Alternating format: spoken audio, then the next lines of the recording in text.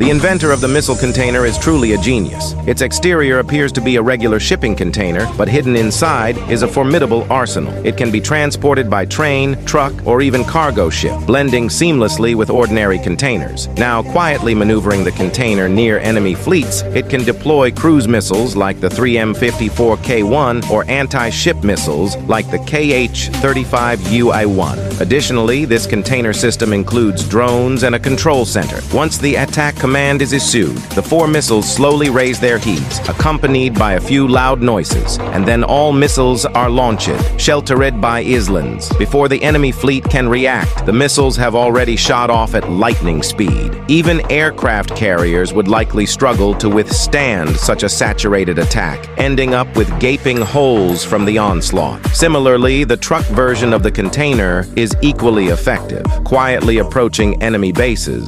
It launches missiles